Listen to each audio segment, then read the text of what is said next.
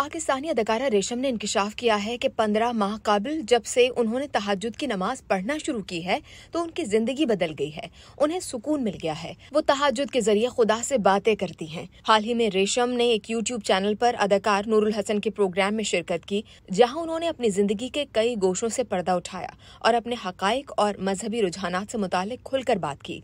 दौरान गुफ्तगु उन्होंने बताया कि उन्होंने कभी खुदा से ताल्लुक नहीं किया था। कभी वो पाँच वक्त तो कभी तीन वक्त की नमाज़ पढ़ती रही हैं। ताहम उनके मुताबिक जब से तहजद की नमाज़ पढ़ना शुरू की है, उन्हें बहुत सारे सवालों के जवाब मिल गए हैं। वो तहजद के बाद खुदा से ढेरों बातें करती हैं। रेशम ने अपने तजर्बे को बयान करते हुए कहा कि उन्होंने इससे पहले भी हमेशा दुआ की है, लेकिन तहजद वाकई ज़िंदगी का एक नया मतलब उनके सामने लाया है। रेशम ने बताया कि उनकी पैदाइश से पहले ही उनके वालिद का इंतकाल हो चुका था और उनकी परवरिश उनकी वालिदा ने की है। रेशम ने कहा कि उन्होंने बहुत छोटी उम्र में अपने वालदेन को खो दिया और उनकी वालिदा का इंतकाल उस वक्त हुआ जब वो सात बरस की थी। अदाकारा के मुताबिक उन्होंने आगे बढ़ने के लिए अपने करियर में बहुत जदोजहद की है, जिसमें उन्हें बहुत करीबी प्यारों की तरफ़ से धोखाधही का भी सामना करना पड़ा। अदाकारा ने कहा कि उन्होंने शुरू से ही तकबर नहीं किया, क्योंकि तकबर खुदा को पसंद नहीं है। वो शुरू से ही खुदा के अहकाम के मुताबिक आजिज पसंद हैं। इसी प्रोग्राम में उन्होंने बात करते हुए ये भी बताया कि उन्होंने पहला उम्र 18 साल की उम्र में किया था, जिस वजह से उन्हें पासपोर्ट पर अपनी उम्र ज़्यादा लिखवानी पड़ी थी।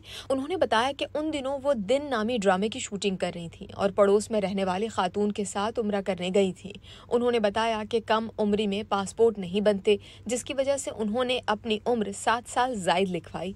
रेशम ने कहा कि उम्र की अदायगी के लिए उन्होंने पासपोर्ट पर सात साल जायद उम्र लिखवाई तो उन्हें ताने दिए जाने लगे और लोग उन्हें अब इक्यावन साल की बुढ़िया लिखते हैं। अदाकारा ने मुस्कुराते हुए कहा कि जो लोग उन्हें इक्यावन साल का लिखते हैं, वो भले उन्हें सत्तर साल का लिखें, उन्हें फ़र्क नहीं पड़ता। उन्होंने उम्र की अदायगी के लिए पासपोर्ट पर सात साल जायद उम्र लिखवाई थी। ख्याल रहे कि रेशम का शुमार पाकिस्तान की मुमताज़ फिल्मी सितारों में होता है। उन्होंने बहुत छोटी उम्र में पीटीवी से अपने करियर का आगाज़ किया और उसके बाद सिल्वर स्क्रीन पर आ गई, जहाँ उन्होंने कुछ बड़े सितारों के साथ काम किया। फिल्मी दुनिया में उन्होंने फ़िल्म जीवा से शहरत हासिल की। अदाकारा का रूहानियत से गहरा ताल्लुक है और वो अक्सर अपने हाथों से खाना बनाकर लंगर तकसीम करती हैं और खैरात बांटती हैं।